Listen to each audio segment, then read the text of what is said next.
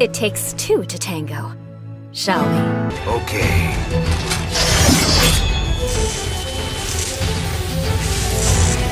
Let's dance.